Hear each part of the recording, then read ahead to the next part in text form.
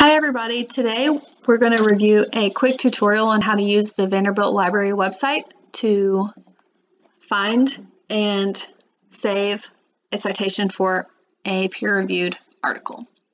So what I normally do is I navigate um, to the Vanderbilt Library page on Google, so you can just type in Vanderbilt Library, and then you want to click on Heard Libraries. Once you're there, you can go to Login in the top right corner click on My Account, and you'll be asked normally to um, enter your VUNet ID. So that's, you know, the last, your last name, usually with a couple of initials, and then your password. You'll sign in, and once you're signed in, you can click on New Search. And let's say you're interested in learning more about um, sleep patterns of teenagers and how that relates to screen time usage. So you'll want to think carefully about the keywords that you want to type in.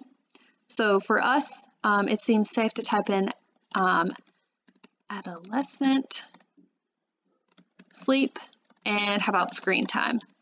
So you want to make sure that you're not using articles like a and the um, or other ir irrelevant words. So you want to pick the most informative words that would help you narrow down the relevant articles and then you'll click enter.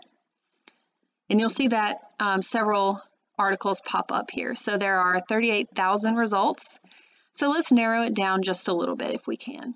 So we're really interested in, let's say, what's happened um, not since 1900 to 2021, but how about 2018 to 2021? So we just change the date range over here on the left, then click Refine, and then we see that we only have 8,000 articles to choose from now. So Let's review the titles and see if there's one that might be relevant for us. How about nighttime screen-based media device use in adolescent sleep and health-related quality of life? Let's click on that article. And if we give it just a second, it will navigate to a new page uh, where we have a little bit more details about that article. So you can see that you can download this article here by clicking on this button. So let's do that.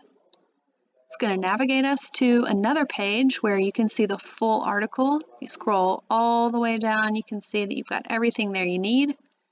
Um, and you can either um, download it by right-clicking and doing Save As, um, or you can, let's see,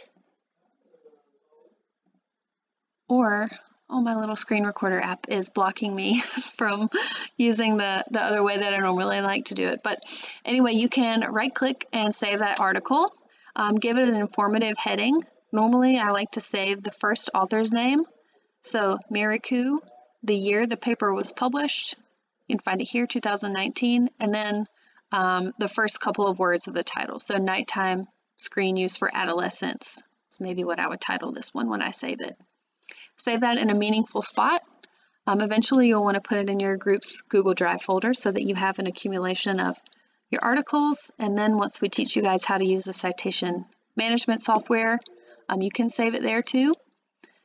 Uh, for the time being, it's also important uh, to have the citation so we can find this paper again. So if you click back on the library page, there's this little quotation button here. It says citation. You can click on it.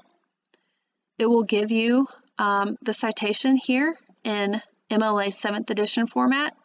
Um, this is fine for now, so you can just select it, copy it, and then paste it into um, your RS or weekly challenge for this week so that um, you know how to find this article again.